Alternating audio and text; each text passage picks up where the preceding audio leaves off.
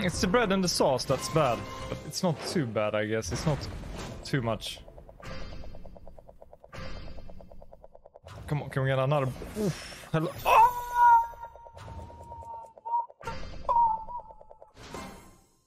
I got